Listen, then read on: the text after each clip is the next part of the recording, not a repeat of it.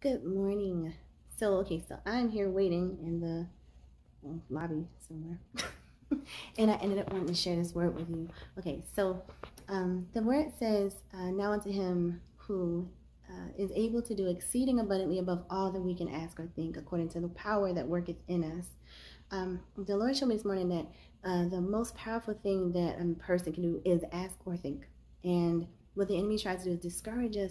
He hits us with attacks. He tries to stop us because he knows that if we ask or we think, then the power that worketh in us um, will be activated. And so, to try to nullify that, he will get us to try to pervert our thoughts, to pervert what we ask for. But we need to think about the things that the Lord wants us to do. The very next verse says, um, "Unto Christ, unto Him be glory in all the churches uh, um, through Christ Jesus. So, and I don't have, I'm just doing it by memory, but basically just keep in mind that the enemy is warring against your thoughts. He's warring against your ability to ask God for things.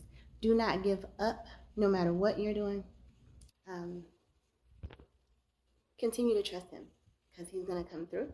And um, like I'm doing the same thing. So just believe God and know that He loves you and that you can ask and you can think.